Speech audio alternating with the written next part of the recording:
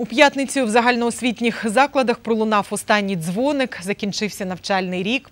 Після шкільних заходів школярі вийшли на вулиці міста для традиційних гулянь. Міський голова дозволив випускникам купатися у фонтанах. Школярі і без дозволу робили це щороку. Для них це така собі традиція, але вперше за історію міста це більше не хуліганство. Вони мають на це мерський дозвіл. Борис Філатов дав розпорядження комунальникам та муніципальній гвардії зробити купання у п'яти міських фонтанах безпечним. Наглядати за веселими випускниками буде і національна поліція, адже перешкоджати водним процедурам ніхто не буде. Город всегда это город для людей, город это не здание, это не инфраструктура, это не мосты, город это люди в первую очередь.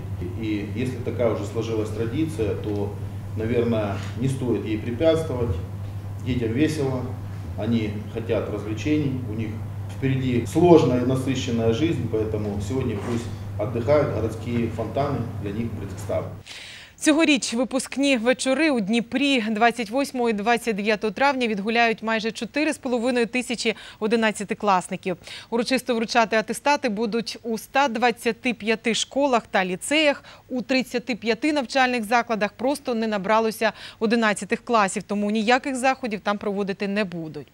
Кількість медалістів рекордна. Медалі у школах міста отримали 277 випускників, із них 197 – золото. Найбільш золотими виявилися центральний район, це колишній Кіровський, там 43 майбутні медалісти. Соборний, це колишній Жовтневий, там 41 медаліст. І Шевченківський, колишній Бабушкінський, 33 відмінники. У минулому році медалістів було 134.